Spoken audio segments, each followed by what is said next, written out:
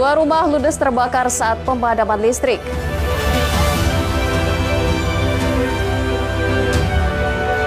PLN mengakui gangguan transmisi SUTT 275 kV Linggau Lahat. Mahasiswa pasang instalasi tenaga mikrohidro.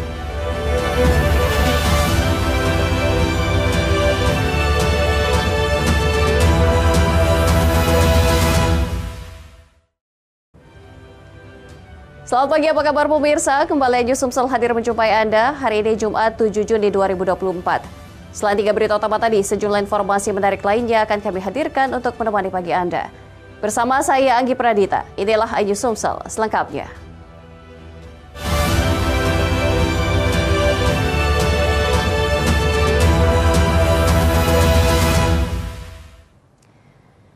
Kita awali berita pertama pagi ini pemirsa, dua unit rumah semi permanen di Palembang ludes terbakar Rabu subuh.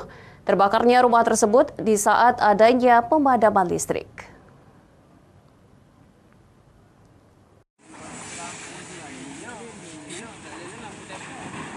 Dari rekaman warga terlihat api dengan cepat membesar. Petugas pemadam dibantu warga berjibaku memadamkan api. Kebakaran melanda dua rumah semi permanen di lorong family Sematang Borang, Kecamatan Sako, Palembang. Api diketahui sudah membesar sekitar pukul 5 subuh Rabu 5 Juni 2024. Api pertama kali terlihat dari bagian dapur, pemilik rumah yang panik langsung membangunkan keluarga yang masih tertidur. Dari keterangan korban sebelum kejadian di rumahnya sedang ada hajatan tiga hari orang tua meninggal. Malam itu kota Palembang sedang ada pemadaman listrik dari pagi hingga malam hari. Lampu sempat hidup namun kembali terjadi pemadaman sehingga sebagian warga melakukan penerangan menggunakan lilin. Pemilik rumah menjelaskan sempat menyalakan lilin di dapur dan lampu menyala saat maghrib sampai jam 10 malam namun kembali padam. Di mana apinya? Dari dapur, dari Udah besar belakang. ya? Mm-mm. Oke. Itu sebelumnya informasinya mati lampu Iya mati lampu emang. dari jam berapa Ayu?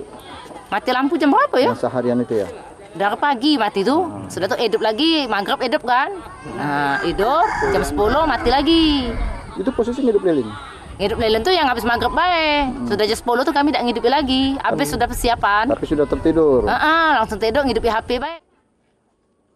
Delapan orang korban kehilangan semua barang berharga termasuk semua surat-surat penting dan ijazah.